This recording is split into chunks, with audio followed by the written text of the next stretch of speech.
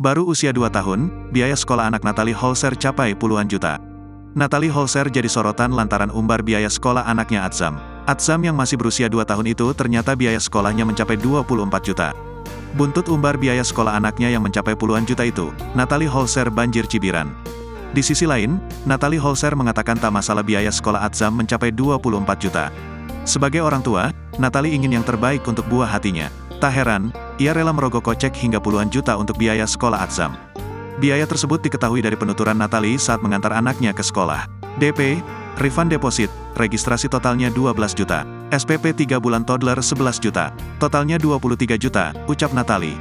Namun, setelah melakukan perhitungan ulang, muncul angka 24 juta. Bagi Natalie, biaya tersebut bukan masalah. Ia percaya rezeki untuk anak akan selalu mengalir. Natalie sendiri sadar biaya sekolah Atzam yang belum genap 2 tahun itu cukup mahal. Namun, Natalie sebelumnya sempat membuat pernyataan mengejutkan. Ia meminta Sule untuk tak lagi mengirim uang bulanan untuk nafkah Atzam. Ia merasa sanggup menghidupi anaknya seorang diri dan meyakini rezeki anak akan selalu ada. Namun, Sule tak mau melepas tanggung jawab sebagai ayah. Apa pun yang terjadi ia tetap menafkahi Atzam.